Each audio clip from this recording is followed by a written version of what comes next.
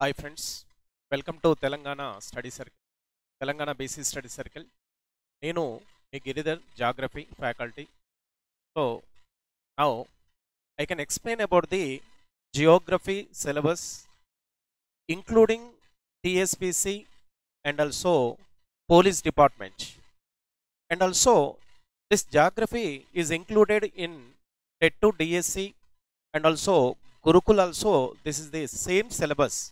As usually, TSPC syllabus is is is it, it is very useful for the all competitive examinations. TSPC అనేది మీకు తెలుసు ఈ syllabus అనేది మనకు తెలంగాణ రాష్ట్రము ఆంధ్రప్రదేశ్ నుంచి విడిపోయిన తర్వాత కొత్తగా సిలబస్ అనేది కొత్తగా రివైజ్ చేసి ప్రభుత్వం రిలీజ్ చేసింది తెలంగాణ ప్రభుత్వం ఆ సిలబస్ ప్రకారంగానే మనకు టిఎస్పిసికి సంబంధించినటువంటి అన్ని నోటిఫికేషన్లకు సంబంధించినటువంటి దాదాపుగా జాగ్రఫీ అనేది కామన్గా ఉన్న సిలబసే. అందరికీ మీకు కూడా అందరికీ బాగా విదితమే. కాబట్టి మనకు జాగ్రఫీ అనే ఈ టిఎస్పిసి సిలబస్ మనకు కాకపోతే ఈ జాగ్రఫీ అనే టిఎస్పిసికి కొంత వరల్ జాగ్రఫీ యాడ్ అయి ఉంటుంది.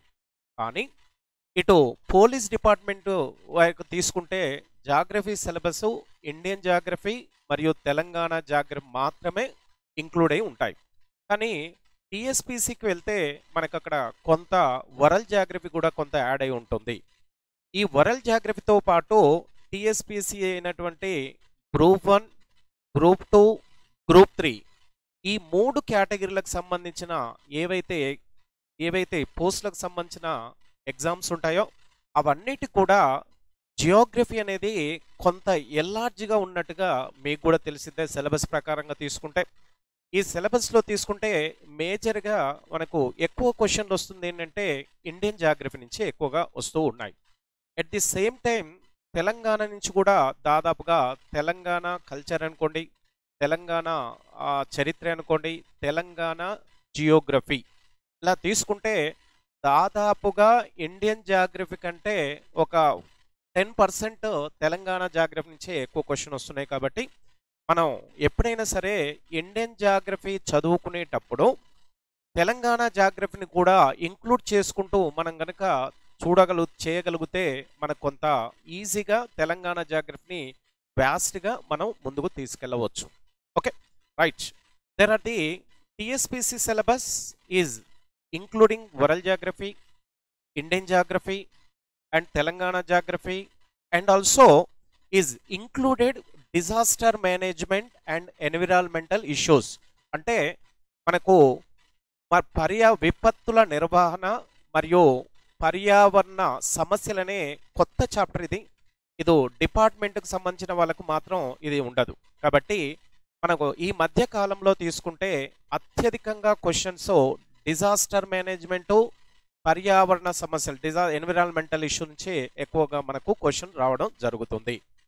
కాబట్టి మనకు వరల్డ్ జాగ్రఫీ అనేది ఇటు డిజాస్టర్ మేనేజ్మెంటు మరియు పర్యావరణ సమస్యల్ని లింక్ చేసుకుంటూ చదవాల్సిన పరిస్థితి ఉంటుంది.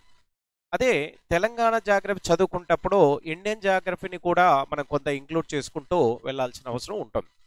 రైట్. ఇలా మనకు ఈ ఈ డిపార్ట్మెంటల్కి వెళ్తే మనకు ఇండియన్ జాగ్రఫీ తెలంగాణ జాగ్రఫీ మాత్రమే ఉంటాయి. ఓకే?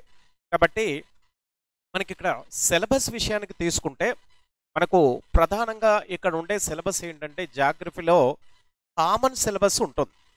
ఇప్పుడు అదే పాలిటీ కానీ ఎకానమీ కానీ ఈ రెండింటితో కంపేర్ చేసుకుంటే జాగ్రఫీలో ఉన్న సిలబస్ అనేది స్థిరమైన సిలబస్. ఎప్పుడు కూడా మారే ఛాన్సెస్ లేదు. మరి ఆ చాప్టర్లు ఏందో మనం ఇప్పుడు ముందుగా చూద్దాం. ఆ చాప్టర్లో తీసుకుంటే మనకు ప్రధానంగా మొదటి ఐదు చాప్టర్లు మొత్తం పద్దము పద్నాలుగు చాప్టర్లు ఉంటాయి. మొత్తం ఇటు టిఎస్పిసికి ఇటు డిపార్ట్మెంట్కి సంబంధించిన వాటిలో ఇండియన్ జాగ్రఫీ సిలబస్ మనం ఇప్పుడు చూద్దాం. మొత్తం పద్నాలుగు చాప్టర్లు ఓవరాల్గా జాగ్రఫీలో ఉంటాయి ఇండియన్ జాగ్రఫీలో.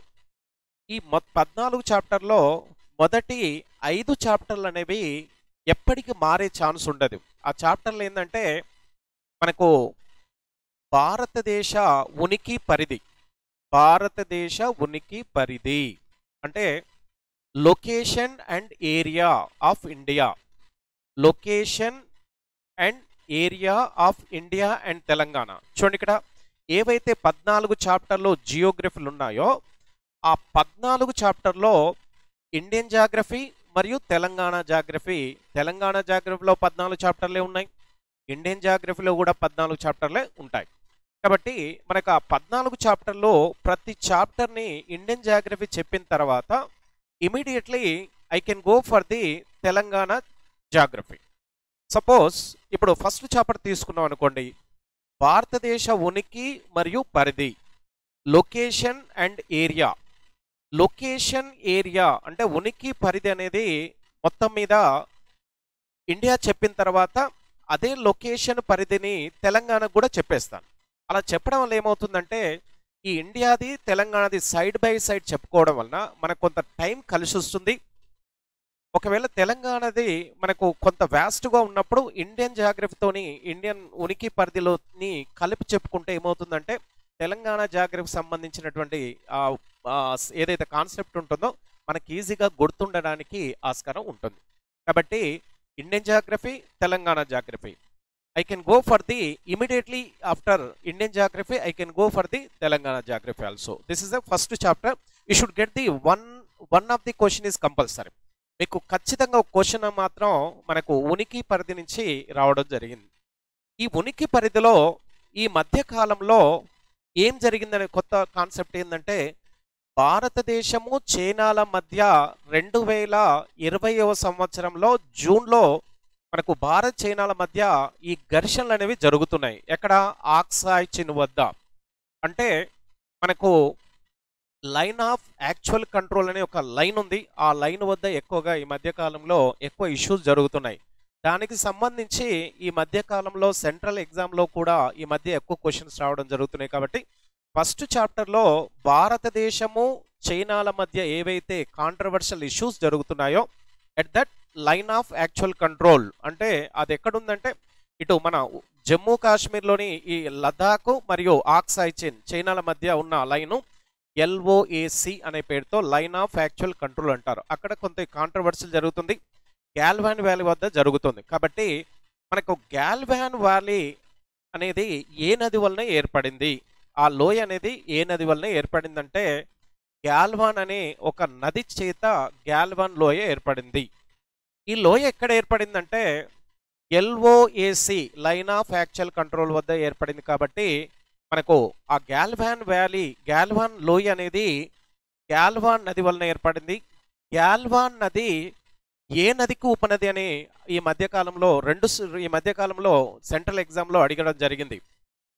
గ్యాల్వాన్ అనే నది షోకు నదికి ఉపనది అంటారు. షోకు నది సింధు నదికి మళ్ళీ ఉపనది. సింధు నది ఉపనది షోక్ షోకు ఉపనది గ్యాల్వాన్ అంటే ఏంటి ఇక్కడ? Is a Galwan is a one of the river that is the tributary of the Shyok river Shyok is the tributary of the Sindhu river అంటే జాగ్రఫికల్గా నదులకు మరియు వ్యాలీలకు సంబంధించి పర్వతాలకు సంబంధించి ఈ మధ్య ఈ మీటి మీద క్వశ్చన్లు వచ్చే అవకాశం ఉంది. ఓకే ఈ మధ్య కాలంలో మరికు ఈ పా నేపాల్ భారత్ల మధ్య కొంత కాంట్రవర్సీ జరుగుతుంది. ఓకే? ఈ కాంట్రవర్సీ మీద కూడా క్వశ్చన్లు అడిగే అవకాశం ఉంటుంది. కాబట్టి ఈ చాప్టర్ నుంచి మీకు ఖచ్చితంగా జనరల్ అవేర్నెస్ రిలేటెడ్గా జాగ్రత్త క్వశ్చన్ వచ్చే అవకాశం ఉంటుంది. రైట్ ఇది first question first chapter second chapter తీసుకుంటే భారతదేశ నైసర్గిక స్వరూపము మరియు తెలంగాణ నైసర్గిక స్వరూపం. అంటే ఎందుకడ? ఇటు భారతదేశ నైసర్గిక స్వరంశం చెప్పిన తర్వాత immediate I can go for the Telangana నైసర్గిక స్వరూపం. అంటే Indian physical feature then I can go for the Telangana physical features this is a very biggest chapter so it from this chapter you should get the two or three questions okay so is a very much related ఇది భారత నైసర్గిక స్వరూపంతో తెలంగాణ నైసర్గిక స్వరూపం అనేది బాగా relation ఉంటుంది. Indian జాగ్రఫీలో Telangana భారతదేశ నైసర్గిక స్వరూపంలో భాగంగానే ఉన్నటువంటి తెలంగాణ తెలంగాణ భారతదేశంలో ఎక్కడ విస్తరించి ఉందంటే దక్షిణ భారతదేశంలో విస్తరించి ఉంది మరి దక్షిణ భారతదేశంలో మరెక్కడ ఉందనే విషయం తీసుకుంటే దక్కన్ పీఠభూమిలో ఉంటుంది. ప్రపంచంలోనే అతి పురాతనమైన పీఠభూమిలో దక్కన్ పీఠభూమి అతి పురాతనమైనది. మరి ఈ పీఠభూమిలో ఈ పీఠభూమిలో భారతదేశంలో ఉన్న ఈ పీఠభూమిలోనే మన తెలంగాణ ఏర్పడి ఉంది. అంటే ఎందుకంటే భారతదేశంలో తెలంగాణ పీఠభూమి అనేది పురాతనమైన పీఠభూమిగా చెప్పుకోవడం జరుగుతుంది. ఓకే? కాబట్టి దక్కన పీఠభూమిలో అతి పురాతనమైన భూభాగం ఏంటంటే తెలంగాణ పీఠభూమి అని చెప్పడం జరుగుతుంది. ఆల్రెడీ ఇదివరకు ఎగ్జామ్లో కూడా రావడం జరిగింది. మరి తెలంగాణ ద్వీపకల్ప పీఠభూమిలోని భాగంగా ఉంటుంది. అంటే ఇది పెనిన్సులర్ పీఠభూమిలో భాగంగా ఉంటుంది. మనకి భారతదేశ నైసర్గిక స్వరూపంలో అంటే భారతదేశానికి ఉత్తరాన హిమాలయాలు సరిహద్దుగా ఉన్నాయి. హిమాలయాలకు దక్షిణాన గంగా సింధు బ్రహ్మపుత్ర మైదానం ఏర్పడింది. గంగా సింధు దీనికి దక్షిణాన ద్వీపకల్ప పీఠభూమి ఏర్పడింది. ద్వీపకల్ప పీఠభూమికి రెండు వైపులా పశ్చిమ తీర మైదానం తూర్పు తీర మైదానం అనే రెండు తీర మైదానాలు ఉన్నాయి. అదేవిధంగా దీవులు కూడా మనకు రెండు వందల నలభై ఏడు దీవులు అరేబియా సముద్రంలో బంగాళాఖాతంలో హిందూ మహాసముద్రంలో కూడా కొన్ని దీవులు ఉన్నాయి. వాటి గురించి కూడా మనం వివరంగా చూడాల్సిన అవసరం ఉంటుంది. ఈ మధ్యకాలంలో రెండు వేల పదహారులో ఏదైతే మనకు ఎస్ఐ నోటిఫికేషన్ వచ్చిందో తెలంగాణ గవర్నమెంట్లో భారత్ చైనాల మధ్య సరిహద్దుగా భారత్ చైనాల మధ్య మన భూ సరిహద్దు కలిగి ఉంది. ఈ భూ సరిహద్దు చైనా భారతదేశంలోని ఎన్ని రాష్ట్రాలతో భూ సరిహద్దుని పంచుకుంటుంది? China is a has a land frontier with India with number of state అన్నప్పుడు మనకి ఇక్కడ జమ్మూ కాశ్మీర్ నుండి దీని వరకు హిమాచల్ ప్రదేశ్ ఉత్తరాఖండ్ సిక్కిం అరుణాచల్ ప్రదేశ్ ఈ ఐదు రాష్ట్రాలతో భూసరిహద్దు ఉంది. మరి ప్రపంచంలోనే అతి పెద్ద మైదానం ఏంటంటే గంగా సింధు బ్రహ్మపుత్ర మైదానము. ఓకే? రైట్. ద్వీపకల్ప పీఠభూమి. మరి ద్వీపకల్ప పీఠభూమిలో అతి పొడవైన నది అనే అంశాలు చూస్తే గోదావరి నది అనే విషయం తీసుకుంటూ ఉంటారు కాబట్టి మనకు ఈ చాప్టర్ నుంచి రెండు లేదా మూడు క్వశ్చన్లు వచ్చే అవకాశం ఉంటుంది కాబట్టి ఖచ్చితంగా తెలంగాణ నుంచి భారతదేశ నైసర్గిక నుంచి ఒక క్వశ్చన్ వస్తుంది. ఇండియన్ జాగ్రఫీ నుంచి వన్ నాట్ టూ క్వశ్చన్లు వచ్చే అవకాశం ఉంటుంది. కాబట్టి is a very very important chapter భారతదేశ నైసర్గిక స్వరూపం. ఈ should get the compulsory two or three questions okay right third one భారతదేశంలోని నదులు మరియు అదేవిధంగా తెలంగాణలోని నదులు. మనకు జనరల్గా ఏంటంటే భారతదేశంలో ఉన్న నదులు అనేవి Indian rivers and Telangana rivers మరి నదులు భారతదేశంలో అవి పుట్టిన ప్రాంతాన్ని ఆధారంగా చేసుకుని నదుల్ని రెండు భాగాలు చేశారు. హిమాలయ నదులు అంటే ఉత్తర భారతదేశంలో ద్వీపకల్ప నదులు అంటే దక్షిణ భారతదేశం గుండా ప్రవహించే నదులు. ఇవి మనకు తెలిసిన విషయమే. మనకు ఖచ్చితంగా ఉత్తర భారతదేశంలో నదుల మీద ఒక క్వశ్చన్ వచ్చే అవకాశం ఉంటుంది. అదేవిధంగా దక్షిణ భారతదేశంలో నుంచి కూడా ఒక క్వశ్చన్ వచ్చే అవకాశం ఉంటుంది. దక్షిణ భారతదేశంలో ఒకవేళ క్వశ్చన్ వస్తే రెండు క్వశ్చన్లు వచ్చే అవకాశం ఉంటుంది. ఎందుకంటే తెలంగాణ కూడా దక్షిణ భారతదేశంలో తెలంగాణ ఉంది కాబట్టి తెలంగాణ నుంచి కూడా నదులకు సంబంధించి ఒక కాన్సెప్ట్ ఒక ఒక క్వశ్చన్ వచ్చే అవకాశం ఉంటుంది కాబట్టి మూడు క్వశ్చన్లు మాత్రం ఇక్కడ డైరెక్ట్లీ ఇండైరెక్ట్ ఈ మధ్యకాలంలో క్వశ్చన్ స్టాండర్డ్ కూడా పెరిగింది. కాబట్టి match the following the statement wise కూడా ఇచ్చే అవకాశం ఉంటుంది. రైట్ భారతదేశంలో యంగెస్ట్ రివర్ నవీన నదులు భారతదేశంలో in India which is the youngest river అన్నప్పుడు మన అందరికి తెలిసిందే ఏం పెడుతుంటారు? జనరల్గా గంగా నది. దేశంలోనే హిమాలయాల్లో జన్మించిన అతి పొడవైన నది ఏంటంటే బ్రహ్మపుత్ర నది అంటారు. బ్రహ్మపుత్ర నది రెండు వేల తొమ్మిది వందల కిలోమీటర్ల బ్రహ్మపుత్ర రెండు వేల తొమ్మిది వందల కిలోమీటర్ల పొడవున ఉంటుంది. అదేవిధంగా గంగా నది రెండు వేల ఐదు వందల ఇరవై ఐదు కిలోమీటర్లే ఉంటుంది. కాబట్టి మనకు గంగా సింధు బ్రహ్మపుత్ర మరియు ఈ మూడింటి కలిపి చాలా వరకు ఉపనదులు ఉన్నాయి. కొన్ని వేల ఉపనదులు ఉంటాయి. ఉత్తర భారతదేశ హిమాలయాల్లో జన్మించినాయి. హిమాలయాల్లో జన్మించిన నదులన్నీ కూడా ఏదో ఒక హిమనదం వద్ద జన్మిస్తూ ఉంటాయి. కాబట్టి హిమనాదాలు కరగడం వలన మనకు వివిధ నదులు అనేవి ఉత్తర భారత హిమాలయ నదులు ఏర్పడుతూ ఉంటాయి. కాబట్టి హిమాలయ నదులు ఎండాకాలంలో మనకు హిమనదాలు కరగడం మరి వర్షాకాలంలో వర్షం కురవడం అలాంటి వలన మూడు వందల అరవై రోజులు ఉత్తర భారత నదులు అంటే హిమాలయ నదులు ఎప్పటికీ జల ప్రవాహం ఉంటుంది కాబట్టి ఉత్తర భారత నదుల్ని జీవనదులు అంటారు. మీకు అందరికీ తెలిసిందే. మరి దక్షిణ భారతదేశంలో నదులన్నీ కూడా పశ్చిమ కనుమల్లోనే ద్వీపకల్ప పశ్చిమ భాగంలోనే జన్మించి ఇవన్నీ కూడా బంగాళాఖాతం వైపుకే ప్రవహిస్తూ ఉంటాయి. ఎందుకు బంగాళాఖాతంలో ప్రవహిస్తాయంటే దక్షిణ భారత నదులన్నీ కూడా తూర్పు వైపుకు దక్షిణ భారతదేశము తూర్పు వైపుకు వాలి ఉంటుంది వంగి ఉంటుంది. దక్షిణ భారతదేశం అనేది తూర్పు వైపుకు అంటే బంగాళాఖాతం వైపుకు వంగి ఉండడం వలన దక్షిణ భారతదేశంలో నదులన్నీ కూడా బంగాళాఖాతంలోకి ప్రవేశిస్తూ ఉంటాయి. దక్షిణ భారతదేశంలో పొడవైనది వెడల్పైన నదుల్లో గోదావరి నది మొదటిది అయితే కృష్ణ రెండవ అతిపెద్దది. మరి భారతదేశంలో అతి పొడవైనది అతి పెద్దది ఏంటంటే గంగా నది. Okay right. In India there are the two type of the Himalayan mountains peninsula river Himalayan rivers they all are the taken the birth from any one of the glacier like a Ganga go Godavari sorry Ganga Sindhu Brahmaputra and they tributaries they are all they are called as the perennial river perennial means జీవనదులు అంటారు ఎప్పటికి నీరుంటే దాన్ని perennial rivers అంటారు. Peninsular river అంటే గోదావరి కృష్ణ పెన్నా కావేరి పెన్నా కావేరి మహానది. ఈ నదులన్నీ కూడా బంగాళాఖాతం they all are the passes towards the Bay of Bengal why because of South India it will be has a maximum slope towards the Bay of Bengal right this is about the river నా next climate system there are the climate system అనేది మనకు కామన్గా ఇక్కడ syllabus మారే chance లేదు. Reverse కూడా పుట్టిన ప్రాంతం మారదు. బంగాళాఖాతంలో దే ఏదో ఒక సముద్రంలో కలిసిన ప్రాంతం కూడా మారే ఛాన్స్ లేదు. ఏ రాష్ట్రం గుండా వెళ్తుందంటే అది ఎప్పటికి కామన్ ఉంటుంది. కాబట్టి మనకు మొదటి మూడు ఈ వన్ ఒకటి ఇప్పుడు చెప్పిన మూడు చాప్టర్లు ఏవైతున్నాయో అక్కడ మార్పులు చేర్పులు ఉండదు. కొత్తగా ఇంక్లూడ్ అయ్యే కాన్సెప్ట్ ఉండదు. కాబట్టి ఒకసారి కనుక ఆ చాప్టర్ గురించి నేర్చుకున్న ఎప్పటికీ అదే సిలబస్ ఉంటుంది. ఇక క్లైమేట్ సిస్టంలో కూడా చిన్న చిన్న మార్పులు తప్ప క్లైమేట్ సిస్టమ్ కూడా ఎప్పటికీ సేమ్ ఉంటుంది. కాబట్టి క్లైమేట్ సిస్టంలో కూడా మనకు వర్షాకాలం అని చలికాలం వర్షాకా ఎండాకాలం వర్షాకాలం మరియు ఈశాన్య ఋతుపవనాలు అంటే తుఫాన్లు అంటారు సైక్లోన్. అంటే ఉష్ణమండల చక్రవాతాలు అంటారు. ఇది అక్టోబర్ నవంబర్లో ఉష్ణమండల చక్రవాతాలు ఆసియా ఖండంలో అత్యధికంగా ఉష్ణమండల చక్రవాతాలు ఏ దేశంలో వస్తాయంటే భారతదేశంలోకి వస్తూ ఉంటాయి.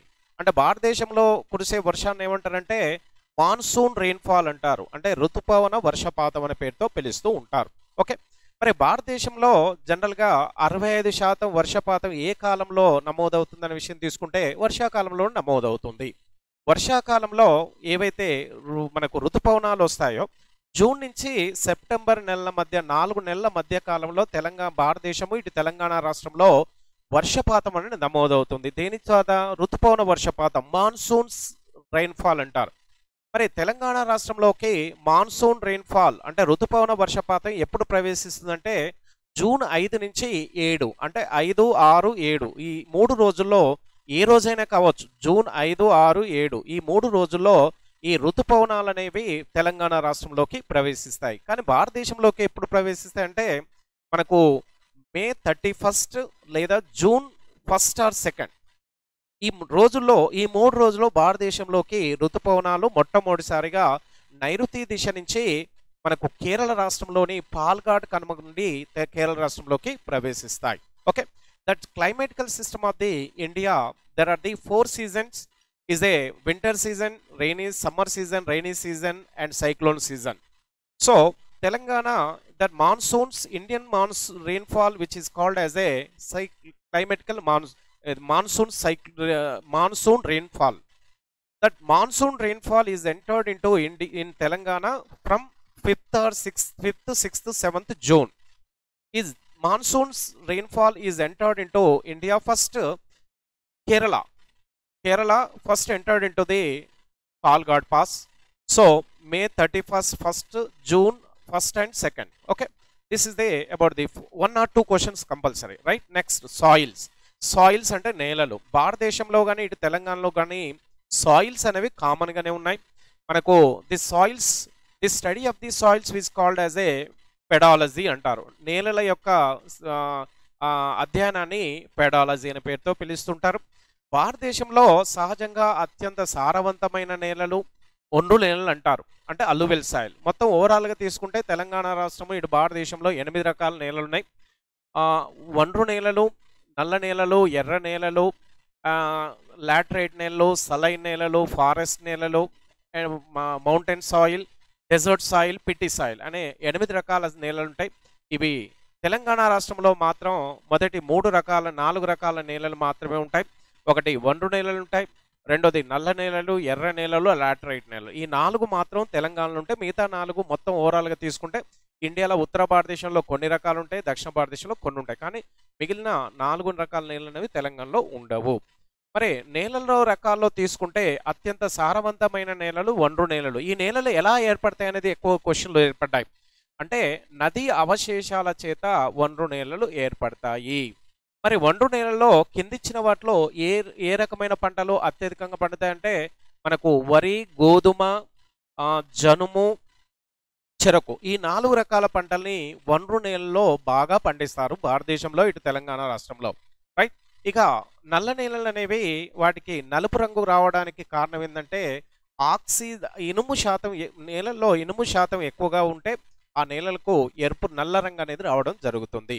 ఈ నల్ల రంగు వలన మనకు ఈ నలుపు రంగు వచ్చింది. మనకు జనరల్గా ఒక్కొక్క రకమైన నేలలో కొన్ని రకాల ఖనిజ లవణాలు కొన్ని ఎక్కువగా ఉండడం కొన్ని తక్కువగా ఉండడం వాటిని ఎక్కువగా క్వశ్చన్లు అడుగుతూ వచ్చాడు. రైట్ ఇది మనకు నేలలకు సంబంధించి. తర్వాత అడవులు. అడవులు తీసుకుంటే ఫారెస్ట్ ఈ ఫారెస్ట్ అనేది మనకు జనరల్గా ప్రతి సంవత్సరము ఈ డాటా మారే అవకాశం ఉంటుంది. ప్రస్తుతం భారతదేశంలో ఇరవై రెండు శాతం అటవీ విస్తీర్ణం ఉంటే తెలంగాణ రాష్ట్రంలో ఇరవై నాలుగు శాతం అటవీ విస్తీర్ణం ఉంది. అంటే కొన్ని రాష్ట్రంలో అటవీ విస్తీర్ణ శాతం ఎక్కువగా ఉంటే కొన్ని రాష్ట్రంలో తక్కువగా ఉంటుంది. అతి తక్కువ అటవీ విస్తీర్ణం ఉన్న రాష్ట్రం తీసుకుంటే హర్యానా రాష్ట్రము. అత్యధికంగా అటవీ విస్తీర్ణం ఉన్న రాష్ట్రం తీసుకుంటే మధ్యప్రదేశ్. రెండవ అత్యధిక అటవీ విస్తీర్ణము ఉంది అరుణాచల్ ప్రదేశ్ మూడవ తీసుకుంటే ఛత్తీస్గఢ్. తెలంగాణ రాష్ట్రం దక్షిణ భారతదేశంలో ఈ మధ్యకాలంలో తెలంగాణ రాష్ట్రంలో హరితహారం అనే కార్యక్రమాన్ని చేపట్టి తెలంగాణ ప్రభుత్వము అటవుల విస్తీర్ణాన్ని పెంచేందుకు చాలా వరకు చర్యలు తీసుకుంటుంది. కాబట్టి ఈ మధ్య కాలంలో తెలంగాణ ఏర్పడ్డ తర్వాత ఎక్కువగా దాదాపు తెలంగాణ ఏర్పడ్డవు ఇరవై రెండు శాతం అటవీ విస్తీర్ణం ఉండే. ప్రస్తుతానికి ఇరవై నాలుగు శాతం అటవీ విస్తీర్ణం తెలంగాణ ఉంది. అంటే రెండు శాతం అటవీ విస్తీర్ణం పెరగడానికి ఇక్కడ హరితహారం అంటే చెట్లను మొక్కల్ని నాటి వివిధ ప్రాంతాల్లో మైదాన ప్రాంతంలో అనుకోండి నదీ పరివాహక ప్రాంతంలో అనుకోండి స్కూలు ప్రభుత్వ కార్యకలాపాలు ఉన్న ప్రాంతంలో చెట్లను నాటి ఈ మధ్యకాలంలో చెట్ల అడవులను పెంపడం జరుగుతూ ఉంటుంది. రైట్ ఇది అడవులు. ఇక ఖచ్చితంగా మనకు తెలంగాణ నుంచి ఇండియా నుంచి ఒక క్వశ్చన్ వచ్చే అవకాశం ఉంటుంది. అదే విధంగా తీసుకుంటే మనకు ఈ వన్యమృగ సంరక్షణ వైల్డ్ లైఫ్ ప్రొటెక్షన్ సెంటర్స్ ఈ వన్యమృగ సంరక్షణ కేంద్రంలో జాతీయ పార్కులు అనేది సాంచరీస్ అని వైల్డ్ లైఫ్ మనకు జీవ వైవిధ్య ప్రాంతాలని బయోడైవర్సిటీ సెంటర్స్ అని ఉంటాయి. వాటి మధ్య వ్యత్యాసాలు అవి ఎక్కడెక్కడ ఏ రాష్ట్రంలో ఏ ప్రాంతంలో ఏర్పాటు చేశారనేది ఖచ్చితంగా ఈ మధ్యకాలంలో ఎక్కువగా అడుగుతున్న క్వశ్చన్లు తీసుకుంటే వన్యమృగ సంరక్షణ కేంద్రాల మీద ఎక్కువ క్వశ్చన్ వస్తుంది. తెలంగాణ రాష్ట్రంలో ఉన్న వన్యమృగ సంరక్షణ కేంద్రాలు మొత్తం పన్నెండు ఉన్నాయి అందులో మూడు జాతీయ పార్కులు ఉన్నాయి తొమ్మిది సాంచరీస్ ఉన్నాయి. కాబట్టి తెలంగాణ రాష్ట్రంలో కూడా ఖచ్చితంగా ఒక క్వశ్చన్ వస్తూ ఉంటుంది. రైట్ నెక్స్ట్ తీసుకుంటే మనకు ఈ వ్యవసాయం. వ్యవసాయం అనేది మనకు ప్రత్యేకంగా తెలంగాణ రాష్ట్రంలో ఈ మధ్యకాలంలో ఈ అత్యధికంగా ప్రాజెక్టులను నిర్మించారు. ప్రపంచంలోనే అత్యంత ఎత్తైన ప్రాజెక్టు మనకు కాళేశ్వరం ప్రాజెక్ట్ ఎత్తిపోతల ప్రాజెక్ట్ని నిర్మించారు. ప్రపంచంలోనే అతి పెద్దది. మరి ప్రపంచంలో ఒక విధంగా చెప్పాలంటే కాలడా కాలరాడో అనే ఒక ఎత్తిపోతల పథకం ఉంది. దాని తర్వాత కాళేశ్వరం. కాళేశ్వరం ప్రాజెక్ట్ ఎత్తిపోతల ఆనకట్టని ఎక్కడ నిర్మించారనే విషయం తీసుకుంటే మనకు జనరల్గా జయశంకర్లోని కాళేశ్వరం జయశంకర్ జిల్లాలో కాళేశ్వరం వద్ద నిర్మించారు. ఇది ప్రస్తుతానికి ఇది ఇరు పదమూడు పదమూడు రాష్ట్రాలకు గుండా ఇది నీటిపారుదలని త్రాగునీటిని అందిస్తున్న ప్రపంచంలోనే అతిపెద్దది ప్రెస్టీజియస్ ప్రాజెక్టు. మనకు డిస్కవరీ ఛానల్లో కూడా ఈ మధ్య కాలంలో ఈ కాళేశ్వరం ప్రాజెక్ట్ కొంత కొంత అడగడం జరిగింది. రైట్ ఇక తీసుకుంటే వ్యవసాయ కాళేశ్వరం ప్రాజెక్ట్ నుంచి వ్యవసాయానికి నీటిని అందించి ప్రస్తుతానికి భారతదేశంలో అత్యధికంగా మనకు వివిధ వరి పంటను పండించిన రాష్ట్రంగా తీసుకుంటే తెలంగాణ ఈ మధ్యకాలంలో రీసెంట్గా జనరల్ కింద జనరల్ అవేర్నెస్ కింద తెలంగాణ రాష్ట్రము అత్యధికంగా వరి పంటని కాళేశ్వరం ప్రాజెక్ట్ కింద పండించేది. కాబట్టి దేశంలోనే అత్యధికంగా వరి వరి పంటను పండించిన రాష్ట్రంగా తెలంగాణ ఇప్పుడు పేరు పొందింది. అంటే చూడండి ఇక్కడ in India agriculture is they at Telangana is they number one at present. is Kaleshwaram lift irrigation is the one of the major lift irrigation project in world is a prestigious project of the Telangana government okay is a in agriculture sector there are the kharif season rabi season Jais season there are the three seasons are they మూడు seasons ఉన్నాయి. ఈ మూడు సీజన్లో మనకు ప్రత్యేకించి మనకు ఈ ఖరీఫ్ సీజన్ను మనకు వర్షాకాలం సీజను రబీ సీజన్ అనేది చలికాలము జైద్ సీజన్ని ఎండాకాలం అంటారు. ఇక చూడండి ఇక్కడ మనకు ఖరీఫ్ సీజన్ని తెలంగాణలో మనకు ఈ వర్షాకాల సీజన్ అంటారు. అదేవిధంగా ఈ చలికాల కాలాన్ని మన జైద్ రబీ కాలాన్ని మనకు వర్ష చలికాలం యాసంగి సీజన్ అనే పేరుతో పిలుస్తూ ఉంటారు. అంటే భారతదేశంలో దాదాపుగా అన్ని రకాల పంటలను వివిధ కాలాల్లో పండిస్తారు. కొన్ని పంటలు ఉన్నాయి. వరి పంట ఎక్కువగా ఖరీఫ్ కాలంలో అంటే వర్షాకాలంలో అత్యధికంగా పండితే రబీ కాలంలో చలికాలంలో గోధుమ పంటని భారీగా పండిస్తూ ఉంటారు. ఎండాకాలంలో అత్యధికంగా వర్షపు నీరు కానీ మన బోర్ నీటిపారుదల ఎరువులను వాడితే వరి పంటను పండించవచ్చు ఇటు ఒక మిల్లెట్ అంటే చిరుధాన్యాలు కూడా పండించవచ్చు. కాబట్టి అవి ఈ భారతదేశంలో పండించే ఏవైతే పంటలు ఉన్నాయో ఆ పంటలు ఏ కాలంలో ఎక్కువ ఏవి పండుతాయి? ఈ ఉష్ణోగ్రత వర్షపాతం నేలలు అన్నీ కూడా ఇక్కడ వరి వరి పంటకు సంబంధించినటువంటి మన వ్యవసాయానికి సంబంధించిన అన్ని చూడాలి. కాబట్టి ఇటు తెలంగాణ ఇండియా నుంచి ఖచ్చితంగా వన్ నాట్ టూ క్వశ్చన్ అనేది ఖచ్చితంగా వచ్చే అవకాశం ఉంటుంది. తర్వాత నీటిపారుదల ఇరిగేషన్ సిస్టమ్ అంటారు. అంటే నీటిపారుదల అంటే కృత్రిమంగా ఇటు వ్యవ- వివిధ పంటలకు పరిశ్రమలకు త్రాగునీటికి నీటిని కృత్రిమంగా అందించడాన్ని నీటిపారుదల అంటారు. Irrigation system natural artificial irrigation water sources to the industrial irrigation and also drinking purpose that water supply which is called as a irrigation system. అంటే నీటిపారుదల అనేది మనకు భారతదేశంలో ఈ కాళేశ్వరం తెలంగాణ రాష్ట్రము ఇటు భారతదేశంలో తీసుకుంటే దేశంలోనే అతి పెద్ద నీటిపారుదల ప్రాజెక్టు తీసుకుంటే మనకు ఈ బాక్రా నంగల్ ప్రాజెక్ట్ సట్లైజ్ నదిపై పంజాబ్లో నిర్మించారు. ఇటు దక్షిణ భారతదేశంలో తీసుకుంటే నాగార్జున సాగర్ ఇటు హిరాకోడ్ ప్రాజెక్ట్ ఇలా కొన్ని ప్రాజెక్టులన్నీ బాగా భారీగా ఉన్నాయి. తెలంగాణ రాష్ట్రంలో తీసుకుంటే SRS project Sriram Sagar project దాని మీదనే కాళేశ్వరం ప్రాజెక్ట్ని ప్రాణహిత శ్రీ- గోదావరి నది కలిసే జయశంకర్లోని కాళేశ్వరం వద్ద దాన్ని నిర్మించడం జరిగింది. కాళేశ్వరం ప్రాజెక్ట్ని ఎన్ని నదుల యొక్క అనుసంధానం అనే క్వశ్చన్ అడిగినప్పుడు ఇక్కడ మూడు కు- నదుల మీద ఒక నిర్మించారు. గోదావరి నది మీద ఆ తర్వాత ప్రాణహిత మీద ఈ రెండు నదులకు లింకప్ చేస్తూ మనకు ఈ ఈ మంజీరా నదిని కూడా కలుపుతూ ఈ మ- ఓ కాళేశ్వరం ప్రాజెక్టును నిర్మించారు. కాబట్టి ఈ ఇరిగేషన్ నుంచి కూడా రెండు మూడు క్వశ్చన్లు వచ్చే అవకాశం ఉంది. ఇది ఎకానమీతో కూడా కొంత లింకప్ అయి ఉంటుంది. ఇక తర్వాత తీసుకుంటే ఖనిజాలు మినరల్స్. ఈ ఖనిజాలు అనేవి మనకు దాదాపుగా నైంటీ నైన్ పర్సెంట్ అన్ని భూమిలోనే లభిస్తూ ఉంటాయి. అయితే ఈ ఖనిజాలు ఎక్కడెక్కడ ఏ ప్రాంతంలో లభిస్తాయి? భారతదేశంలో ఖనిజాలు అవి లభించే ప్రాంతాలు. మరి ఎక్కడెక్కడ ఎన్ని ఎన్ని క్వింటాలు ఎన్ని టన్నుల ఖనిజాలు లభిస్తున్నాయి?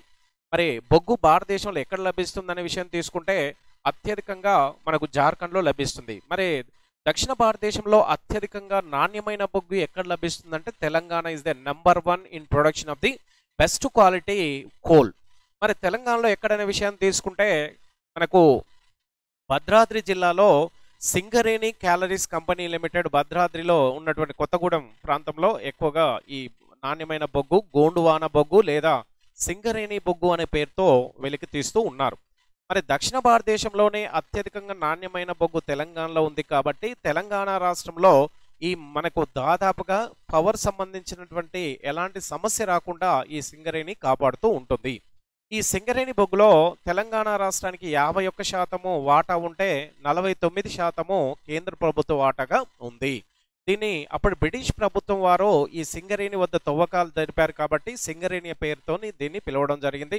పంతొమ్మిది వందల ఇరవైలో మన అప్పటి నిజాం ప్రభుత్వం ఈ సింగరేణి క్యాలరీస్ కంపెనీ తీసుకొని కొంత మనకు ఈ నిజాం వాళ్ళు వాళ్ళు మనకు తర్వాత రాష్ట్రము తెలంగాణ రాష్ట్రము హైదరాబాద్ రాష్ట్రము తెలంగాణ భారతదేశంలో విలీనమైనాక ఆ సింగరేణి క్యాలరీస్ని కి రాష్ట్ర ప్రభుత్వం తన ఆధీనంలో ప్రస్తుతానికి రన్ చేస్తూ ఉంటుంది. కాబట్టి ఖనిజాలు ఎక్కడెక్కడ లభిస్తున్నాయి? వాటి యొక్క ఉపయోగాలు కూడా చాలా ఇంపార్టెంట్ చూడండి ఖనిజాలు వచ్చినప్పుడు ఉపయోగాలు uses what are the main uses of the minerals what about that the qualities they are the which places they are the maximum minerals are availability is there so this is one or two questions compulsory next after that I can go for the industries పరిశ్రమలు. పరిశ్రమలు ఇటు భారతదేశము తెలంగాణ పరిశ్రమలు కామన్గా ఉంటాయి. ఇటు భారతదేశంలో ఏవైతే పరిశ్రమలో తెలంగాణలో కూడా వాటికి సంబంధించిన రిలేషన్ ఉంటాయి. జనరల్గా పరిశ్రమలు అనేది they are the maximum in India. అంటే భారతదేశంలో agriculture based industries mineral based industries forest based industries. వ్యవసాయ ఆధారిత పరిశ్రమలు ఖనిజ ఆధారిత పరిశ్రమలు మరియు అదేవిధంగా మనకు ఫారెస్ట్ బేస్ ఫారెస్ట్ అంటే అటవీ ఆధారిత పరిశ్రమలు. అంటే ఇప్పుడు పత్తి ఉంది పత్తి నుంచి ఏమొస్తుంది? దారం. దారం తీసి బట్టలు తయారవుతారు. బట్టల పరిశ్రమ అంటారు. అంటే కాటన్ టెక్స్టైల్. అంటే వ్యవసాయం మీద ఆధారపడ్డ పరిశ్రమ మన నూలు వస్త్ర పరిశ్రమ అంటారు. చెరకు పరిశ్రమ చక్కెర చెరకు నుంచి చెరకు చక్కెర వస్తుంది కాబట్టి చక్కెర పరిశ్రమ. ఇలా మనకు ఈ వ్యవసాయం ద్వారా ఏవైతే పంట వస్తుందో ఆ పంటకు సంబంధించిన పరిశ్రమలన్నీ వ్యవసాయ ఆధారిత పరిశ్రమలు అంటారు. ఖనిజాధారిత పరిశ్రమలు అంటే ఖనిజాలను ఉపయోగించి వివిధ వస్తువు మన యంత్రాలను వివిధ రకాలైనటువంటి వస్తువులను తయారు చేస్తూ ఉంటారు. ఇటు తీసుకుంటే ఇనుముకు పరిశ్రమ ఎరువుల పరిశ్రమ ఇలాంటివన్నీ ఎన్నో రకాల పరిశ్రమలు అనేవి ఉన్నాయి. అటవీ ఆధారిత పరిశ్రమ కాగిత పరిశ్రమ. ఇక తర్వాత తీసుకుంటే మనకి ఇక్కడ తర్వాత పరిశ్రమ తీసుకుంటే మనకు ఈ జనాభా. జనాభా అనేది రెండు వేల పదకొండు డాటాని ఎక్కువ బేస్ చేసుకుని వెళ్తూ ఉన్నారు. ఈ మధ్య కాలంలో మళ్ళీ ఒక పది సంవత్సరాల కాలంలో మన రెండు వేల ఇరవై ఒకటి డాటా వస్తుంది. జనాభాకు సంబంధించింది అన్ని చూసుకోవాలి. ఆ డాటానే మనం ముందుకెళ్ళాలి. తర్వాత తీసుకుంటే మనకు అటు తర్వాత ఆ తర్వాత తీసుకుంటే ఈ రా కాబోయే జ- జనాభాకు సంబంధించిన పూర్తి ఇన్ఫర్మేషన్ బేసిక్ ఇన్ఫర్మేషన్ కూడా అవసరపడుతూ ఉంటుంది.